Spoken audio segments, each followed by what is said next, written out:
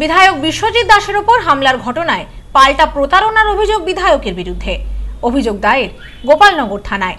অভিযোগ দায়ের করলেন এদিনের ঘটনায় অভিযুক্ত যুবকের বাবা। বিধায়ক বিশ্বজিৎ দাস আক্রান্ত হবার ঘটনার দিনই বিধায়কের নামে অভিযোগ দায়ের গোপালনগর থানায়। অভিযোগ দায়ের করলেন বিধায়ক আক্রান্তের ঘটনায় অভিযুক্ত যুবক গৌরবের বাবা কানাই দা। কানাইবাবুর অভিযোগ, চাকরি দেওয়ার নামে টাকা নিয়েছিলেন বিধায়ক। প্রসঙ্গত, এদিনের ঘটনায় অভিযুক্ত যুবক গৌরব দা আগে সিভিক ভলেন্টিয়ার পদে গোপালনগর থানাতেই কর্মরত ছিল। এক বছর আগে খারাপ আচরণের কারণে চাকরি থেকে পুরোপুরি বরখাস্ত হয় সে।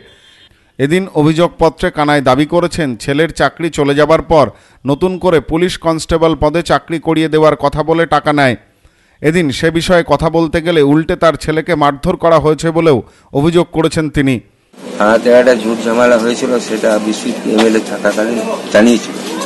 সেই সেটা রফা করতে পারেনি। বারবার ওকে কল করে আসে যায় ও ছেলেও যায় যে ফিরে ফিরে আসে।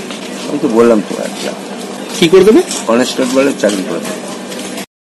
বিষয়টিতে শিলমোহর দিয়ে ইতিমধ্যেই তৃণমূলের জেলা সভাপতি জ্যোতিপ্রিয় মল্লিক দাবি করেছেন সিভিকে চাকরি দেওয়া নিয়েই ঘটনার সূত্রপাত। এর সাথে তৃণমূলের কোনো সম্পর্ক নেই।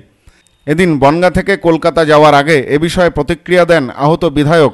তিনি বলেন এবং তার চাকরি চলে গেছে বলে আপনি টাকা দিয়ে তার চাকরি দিয়েছিলেন সেই জন্যই আপনার উপরে হামলা করেছে। কি উনি এত খবর জানলেন এই কি কারণে? এই কারণে উনি এই পরিকল্পিত এই ঘটনার পিছনে নিশ্চয়ই উনার কোনো মদত আছে যে আমি গোপালনগর থানাতে বা বনগা থানাতে আমার মধ্যে আমি কোনো সিভিক রিক্রুট করি না আর আমি আমি কোনো সুপারিশ করিনি।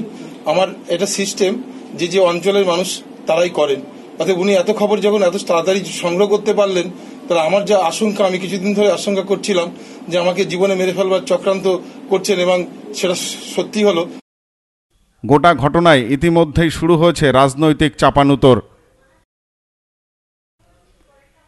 দিব্যিশ্বাসের report, news, no man's land, Gopalnagar.